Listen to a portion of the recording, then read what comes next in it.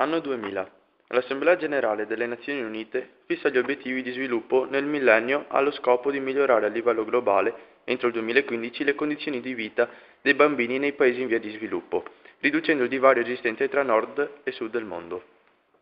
Anno 2009. Si apre la riflessione sul settimo obiettivo, assicurare la sostenibilità ambientale.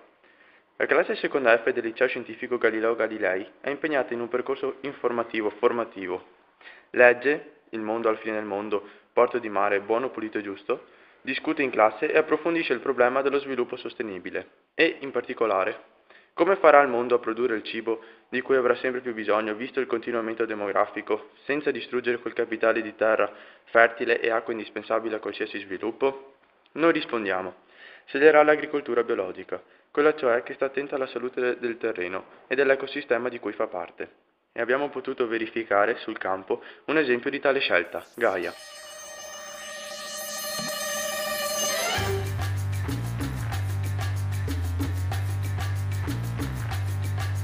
A Presina è nata una nuova e fiorente azienda di agricoltura biologica, Gaia, che prevede una coltivazione a basso impatto ambientale, utilizzando tecniche innovative.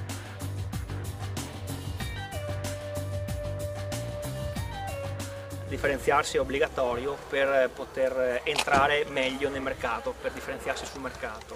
Tuttavia il biologico è comunque anche un approccio, eh, è un approccio direi un po' filosofico insomma modo di produrre, quantomeno un segnale di cambiamento che vuole cambiare eh, un modo di produrre che non pare più sostenibile, quantomeno come, come inquinamento delle falde o comunque del terreno, eh, ma anche come salute che si, come danni alla salute che si possono eventualmente eh, possono ricadere sui consumatori.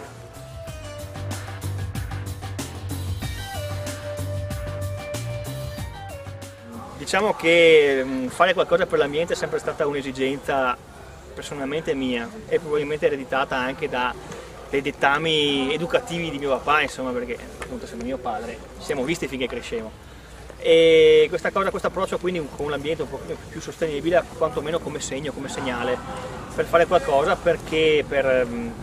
ecco, per dire una frase a me molto cara per lasciare il mondo un po' migliore di come l'hai trovato e non basta lasciarlo come era ma la speranza è quella di lasciarlo anche un pochino migliore.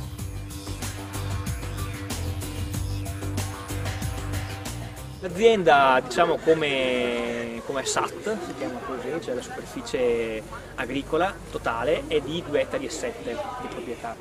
In realtà noi coltiviamo 2 ettari, mezzo ettaro più o meno di serre e, ettaro, e un ettaro e mezzo a pieno campo. E poi abbiamo in affitto un piccolo 1500 metri quadrati in centro a Piazzola, diciamo per la terra di mio zio, dove abbiamo un piccolo frutteto, lo stesso di 800 metri quadrati e una sparagiaia che andrà in produzione quest'anno eh, di altri 700-800 metri quadrati, questo un po' per ampliare la gamma e un po' perché è capitata l'occasione insomma, di zio che non aveva più passione di stare lì e, anche perché gli sparagi non c'erano, è un prodotto interessante ed è un prodotto che viene in questo momento ancora ben riconosciuto, ben percepito insomma, dai, dai, dai consumatori e quindi ben pagato.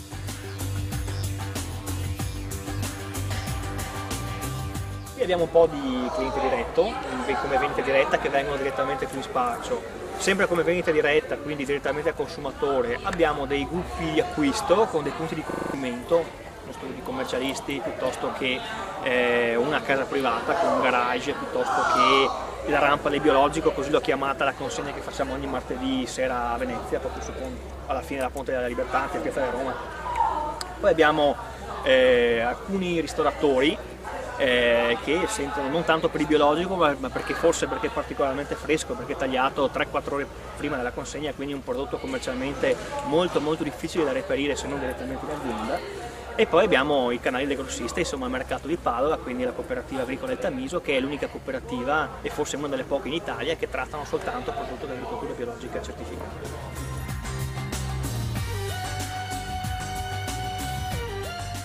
Da un certo punto di vista c'è attenzione verso l'agricoltura di qualità. Di qualità intendo quella certificata e marchiata DOP, ICG,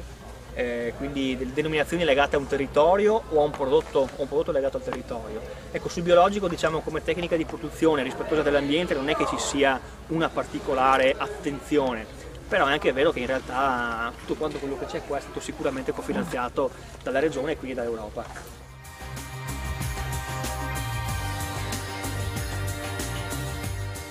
Economico noi siamo contenti perché siamo in crescita, tuttavia la strada ancora è abbastanza lunga da fare. Mentre per quanto riguarda eh, la parte morale, insomma comunque etica, sicuramente stiamo facendo pagandone il prezzo perché la svegli piuttosto che le, dei giorni lavoriamo anche 20-21 ore di fila insomma perché se bisogna fare dei lavori oggi qui nel biologico si può derogare ancora meno che nel convenzionale e dicevamo però dal punto di vista etico sicuramente siamo contenti perché è un lavoro che ci siamo scelti e che stiamo facendo e plasmando a nostra, a nostra immagine insomma. Si conclude così la nostra esperienza nell'azienda biologica, ricordando che dal diamante non nasce niente, dal letame nascono i fiori.